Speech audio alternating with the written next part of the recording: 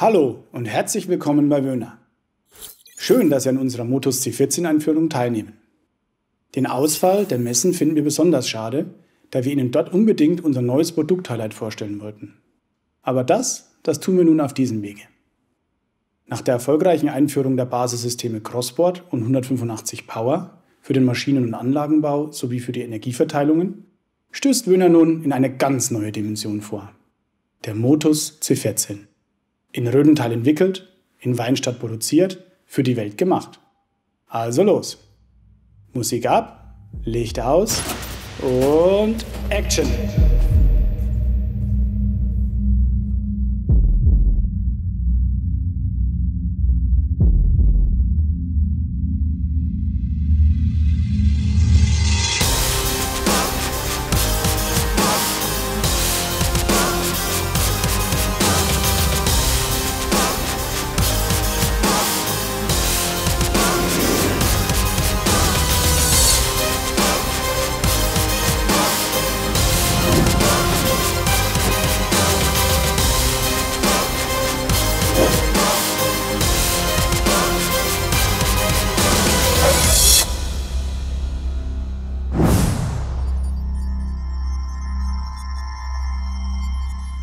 Wir präsentieren Ihnen heute eine neue Dimension von Motorstartern.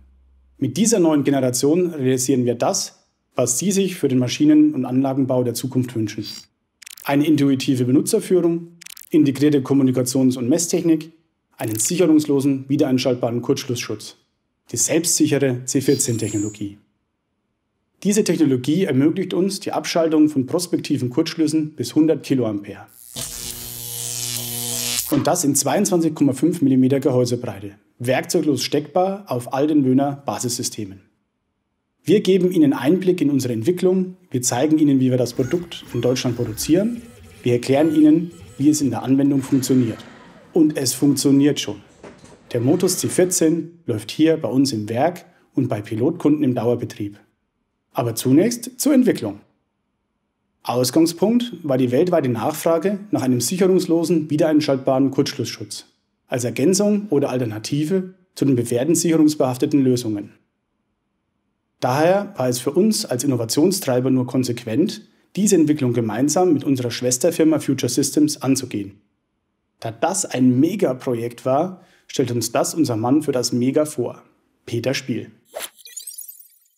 Das Ziel war, eine Technologie zu entwickeln, die schneller abschaltet als die Sicherung, die eine geringere Anlagenbelastung hat und die wieder einschaltbar ist. Und das auch aus der Ferne. Und da gibt es nur zwei Sachen. Schnell detektieren und schnell abschalten. Und genau diese beiden Sachen sind die große Herausforderung. Der erste Versuch war elektromechanisch im Rahmen der damaligen Kernkompetenzen von Wöhner. Wir haben aber schnell gemerkt, dass die Zeiten und die Kräfte, um eine Trennstrecke zu erzeugen, doch zu groß sind und wir die Zeit nicht erreichen. Der zweite Versuch war dann ein elektronischer Versuch, wo wir im ersten Schritt eine geeignete Schaltung gefunden haben, aber die Schlüsselbauteile noch nicht verfügbar waren. Und als wir das Schlüsselbauteil gefunden hatten, den SIG MOSFET, der auf der einen Seite seit 20 Jahren im Labor existiert, aber in seiner Performance und auch in seinem Preis eigentlich erst im Laufe des Projektes technikfähig geworden ist. Da kam der Durchbruch. Und mit diesem Gerät haben wir dann zuerst 15 kA erreicht und dann Farbewerte von 65 und 100 kA bei weiteren Versuchen.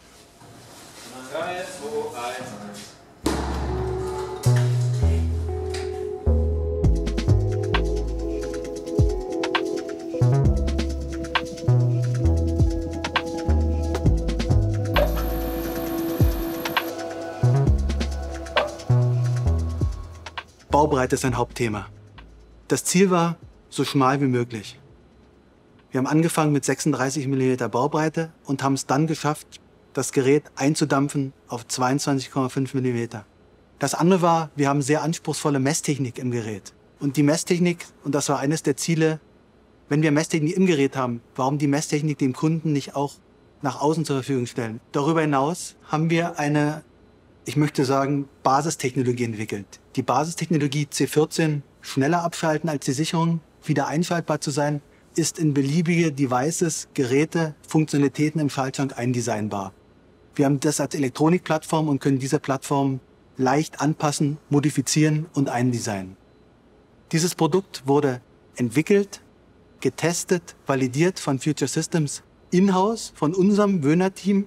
Und wir bei Wöhner, wenn eine Innovation machbar erscheint und sie ist in Schlagdistanz, dann gehen wir eben in die Umsetzung und machen es.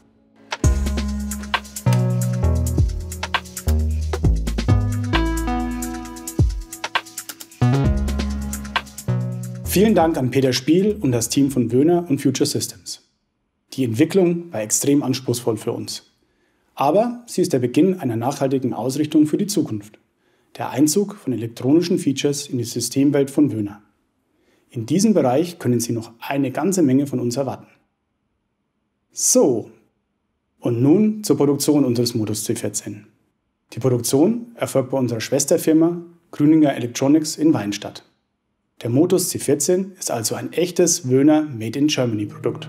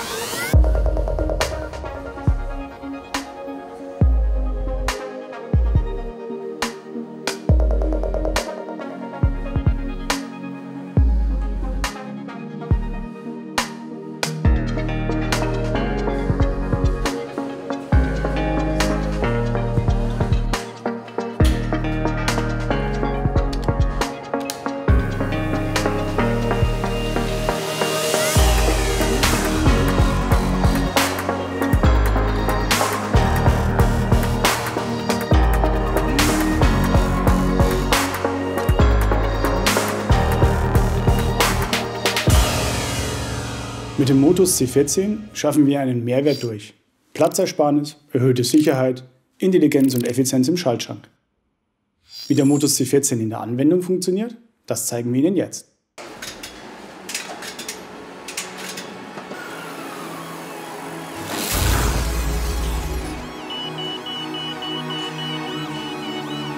Ja? Hey Chef, ich wollte dir sagen, dass Gasse 3 steht. Woran liegt's? Einer der Antriebe auf der Auslagerbahn hat scheinbar keinen Strom mehr. Schau mal am C14. Alles klar, mach ich.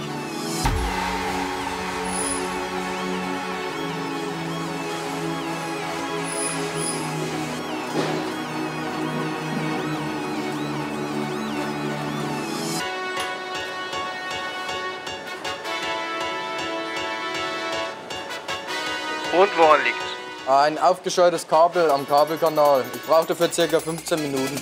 Super.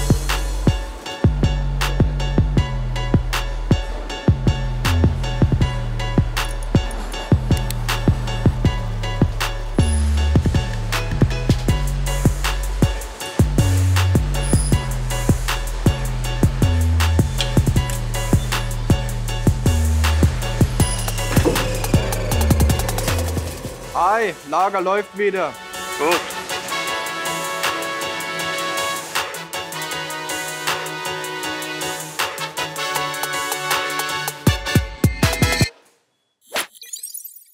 Das interaktive Bedienkonzept beginnt bei der Installation.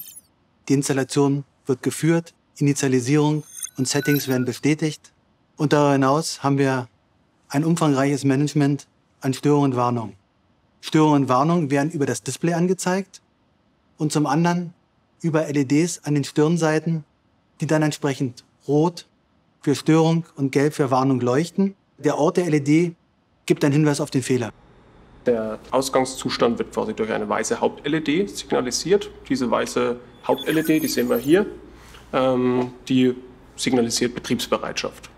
Damit ich direkt sehe, ob der Motor jetzt zugeschaltet ist oder nicht, gibt es dann noch einen weiteren Zustand, nämlich eine grüne Haupt-LED und Im Display sehe ich sogar, in welche Richtung sich der Motor dreht. In diesem Fall rechts. Das Gerät überwacht die ganze Zeit seine Peripherie und wir haben diverse Warnungen und Störungen, die wir detektieren können. Warnungen sind rein informativ, Störungen führen zur Abschaltung des Gerätes. Gesetzt im Fall, Ihr Netzteil ist fehlerhaft, die Haupt-LED ist gelb, diese äh, Visualisierung deutet mir den Warnungszustand an und Sie sehen auch, dass das Gehäuse auch beleuchtet wird. In diesem Fall handelt es sich um eine Überspannung, die den Steuerstecker betrifft. Der sitzt hier oben, deswegen leuchtet es auch am oberen Ende des Gehäuses. Eine weitere Größe, die wir bei diesem Gerät beobachten, ist die Temperatur. Das heißt, wir messen an diversen Stellen im Gerät die maximale Temperatur. Und wenn hier kritische Werte überschritten werden, möchten wir den Kunden frühzeitig darauf hinweisen, damit er auch rechtzeitig Gegenmaßnahmen ergreifen kann. Und deswegen leuchtet sowohl oben als auch unten, weil das ganze Gerät betroffen ist. Bei dem Motorstarter überwachen wir natürlich auch den Motorstrom und wenn der unter einen kritischen Wert sinkt, dann wird mir das visualisiert und zwar am unteren Ende, weil dort der Laststecker für den Motorabgang sitzt. Der kritischste Fall, der eintreten kann, ist ein SATA-Kurzschluss an der Last. Ähm, hier spielt das Gerät seine Stärken aus. Wir schalten in acht Mikrosekunden den Kurzschluss sicher ab. Das würde sich am Gerät dann folgendermaßen bemerkbar machen. Wir sehen, dass jetzt die Haupt-LED rot leuchtet und auf dem Display bekomme ich die dezidierte ähm, Fehlerbeschreibung, dargestellt als Short Circuit. Wenn ich jetzt diesen Haupttaster betätige, dann bekomme ich sogar noch eine detaillierte Anleitung, wie ich diese Störung beheben kann. Die vorgeschlagene Abhilfemaßnahme ist Check Motor Cable. Wenn der Kunde diesen Schaden behoben hat, kann durch ein weiteres zweisekündiges Drücken des Haupttasters die Quittierung erfolgen und der Betrieb kann fortgesetzt werden. Mithilfe eines USB-Kabels kann das C14-Gerät mit dem Laptop verbunden werden und jetzt können diverse Einstellungen vorgenommen werden.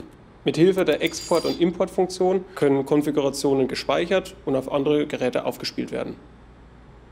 Sie haben sicher sofort für sich erkannt, welche Features für Sie eine Rolle spielen werden. Features, die Ihnen einen Mehrwert bieten und Ihre Kunden von Ihren Systemlösungen begeistern. Intuitive Bedienung, Sicherheit, Wiedereinschaltbarkeit, Platzersparnis sowie die intelligente Integration in zentrale und dezentrale Anlagen. Wir haben hier in Rödental selbst eine automatisierte Produktion mit einer Vielzahl an Motorsteuerungen.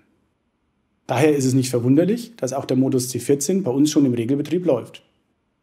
Klaus Pflüger vom Vertrieb wird uns das nun erläutern und hat einen Pilotkunden für ein Feedback in die Leitung geholt. Hier bei Wöhner werden ganz normale Motorstarteraufgaben wahrgenommen. In der Regel Transport, Logistik, Höhenverstellungen sind Anwendungen, bei denen wir herkömmliche Motorstarter bereits gegen den Motus C14 ausgetauscht haben.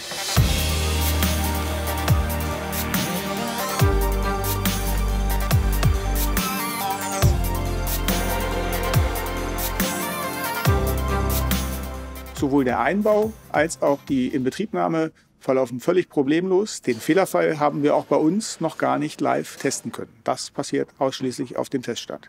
Die Anwendung bei Wöhner unterscheidet sich dabei natürlich in nichts von der bei den Kunden.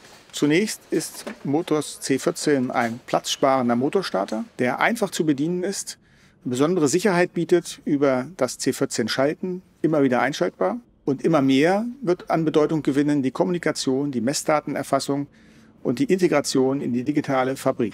Wir haben ausgewählten Testkunden das Gerät vorab vorgestellt und haben bei zwei Kunden besonderes Interesse wecken können. Bei der Firma Hedelius ist Motus C14 im Einsatz bei mehrachsigen Bearbeitungszentren ähm, und bei der Firma Reifenhäuser in den Anlagen zur Verarbeitung von Kunststoffen. Der C14 ist im Moment äh, in, einer, ähm, in einem Schaltkasten eingebaut, der an einem Extruder sitzt und dort steuert äh, der C14 äh, Kühlventilatoren für Heizkühlzonen an. Das bedeutet, das äh, könnte der häufige Schaltwechsel sein, gerade wenn man äh, in einem äh, An- und Abfahrprozess ist, äh, kann es sein, dass die Drehzahl des Extruders äh, verändert wird und dadurch verändern sich die Prozessgrößen und das Kühlgebläse wird häufig an- und ausgeschaltet. Werden Sie dann die Messwertdaten auch übernehmen oder äh, spielt das eher eine untergeordnete Rolle? Wir beschäftigen uns bei uns mit äh, dem Condition Monitoring. Äh, dazu gehört auch das Überwachen solcher Größen. Auch hier haben wir großes Interesse an einer ähm, Auswertung. Die Fehlerbehebung konnten wir bis dato nicht testen, weil wir schlicht und ergreifend keine Fehler hatten. Tatsächlich ist die Komponente im Moment still und leise im Schaltschrank eingebaut und man merkt nichts davon, so wie es äh, für eine zuverlässige Industriekomponente sein soll. Ich weiß, wir haben Sie neugierig gemacht. Die IEC und UL-Zertifizierungen sind abgeschlossen, das Lager ist bestückt. Ich kann voller Stolz sagen, es ist soweit. Der Motus C14 ist Realität geworden. Und er ist lieferbar. Alle Infos und eine ausführliche Funktionsbeschreibung finden Sie ab jetzt hier unter www.motus-c14.de. Für konkrete Fragen stehen Ihnen unsere technischen Ansprechpartner und unser Vertrieb jederzeit zur Verfügung. Und heute für den Rest des Tages auch im Chat. Vielen Dank für Ihre Zeit und ich hoffe, wir sehen uns bald wieder. Persönlich und vor allem gesund. Auf Wiedersehen. Und weil es so schön war,